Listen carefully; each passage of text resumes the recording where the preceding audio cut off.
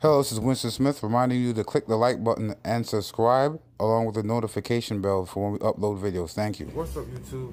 This is Winston Smith, uh, back again with another commentary. Uh, today I want to comment about Patrick Patterson. He plays for the LA Clippers, and um, he basically six foot nine, uh, makes around three million dollars a year. Uh, so he basically was uh, a year ago was on Twitter and a fan asked him, why is it all y'all basketball players and football players get a little bit of money and go get yourself a white girl? What's up with that? And then he responded to the man that was in the Twitter post. The man in the Twitter post said that he would have no chance with his blonde-haired, blue-eyed white wife if he didn't play in the league. And so I should settle for a bulldog and act like I am happy with my life and preach keep it in your race. That was his uh, that was his quote uh, that he responded to the fan on Twitter. He also added, that might be okay for your life, but I don't want that for mine or my family. Color doesn't matter. Wake up. You see the way how he how he wrote it, uh, bulldog. I'm like, why would you basically look at? Uh, why would you put? Why would you phrase? Why would you compare a woman to a bulldog? A bulldog is a big, stocky, uh, big-headed, aggressive animal, which how you would think they really look aggressive, right? They're really low down to the ground. They have wide jaws. They're big. They have wide shoulders, right? Part of the black race itself, which is the original race, um, they say that the men have more muscular build, right? The women, Serena Williams, all this other stuff. Okay, you cannot find an athlete that looks like Serena Williams unless it's a black woman. You can't find an Asian woman or a white woman that basically looks like Serena natural. Uh, you know what I mean? Without no surgery, that's winning that many titles. That means that's all functional. All the all the tits and ass is functional because she's like the number one tennis um, athlete in this era.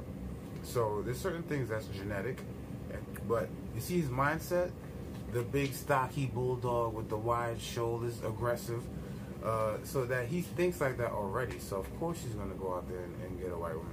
This is not the norm. Okay, majority of people stick within their race. As I sh showed you before with the Loni Love um, video, there were statistics up there that shows that black men are most like more likely than black women to go outside their race. You know, but majority of people that they do go outside their race, they don't call their mamas and their sisters bulldogs. So even in the other quote, you can say if that's okay for your life, that means when he got that uh, NBA money, he had a picture of how his life is supposed to be because he's just one of those guys that figure I have money, then I want to move up in the social status and the social ladder. So that's he's one of those guys. I'm sorry to say it. Apologize on behalf of all black men. He's just one of those guys. I'm. You see, but, but his mindset is already set. You, you understand? Majority of these guys if they didn't have the money, they wouldn't get the woman that they wanted anyhow. But then now they have the money, now they're gonna get the woman that they always wanted. You see, because because of social programming. Now they have the money. Now they're gonna get the woman that they always wanted. The Lisa Bonet. You know I mean? Uh, the uh, from, you know Lisa Bonet from the Huxtables. Uh, Vanessa from the Huxtables. So they're gonna get the woman that they've been programmed to want from a young child. So as soon as they get that multi-million dollar contract, they have an image in their mind of what their wife is going to look like, what their house is going to look like, or what their perfect life is going to look like, and that's what they move towards. So if anybody has anything to say that's basically contrary towards that, he's going to really come down on them. You have to think to yourself, he really has this to his heart because you're not Kawhi Leonard, you're not a major person on the team, you know. So, you know what I mean? So what? You're just a regular, you're just a placeholder. That's it why should you take such a huge, you know I mean, just ignore him and keep him mo moving? Because he's held on to this for years, and now he has his money. Now he's seen it actualized. He has his white wife with the blonde hair, and someone's calling out, calling him out on it. He's not gonna like that. A hit dog will holler. So obviously, this is some. This is a colorist mindset that he has.